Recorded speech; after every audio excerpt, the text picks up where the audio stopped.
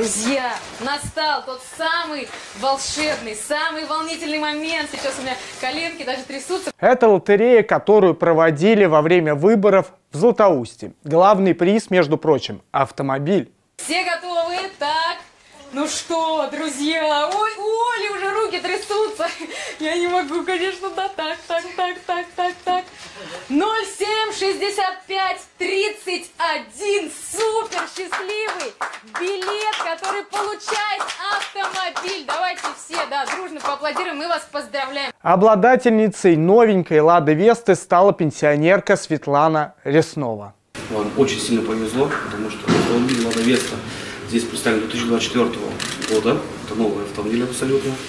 Вы будете первым собственником, первым владельцем. Меня все там переполняет внутри. Не скрывайтесь, какая.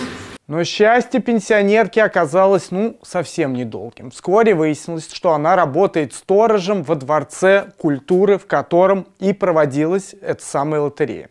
А еще по совместительству она теща директора этого ДК Алексея Разумейко. Причем вначале директор уверял, что все честно, его теще, ну, просто повезло. Вот что он заявил журналистам. Цитирую. «Да, это теща, да, она выиграла, но она что, не человек, это шанс один на миллион, который может быть. Вы поймите, в барабане огромная масса билетов, которая весила в районе 400 килограммов, и все это мешалось. Конец цитаты. Правда, позже выяснилось, что не только теща в семье директора супер удачливая, а в принципе вся семья. Ведь большую часть ценных призов в той лотерее выиграли жена, тетя и другие его родственники. Когда это вскрылось, счастливая семейка вернула и машину, и другие призы. А директор написал заявление по собственному.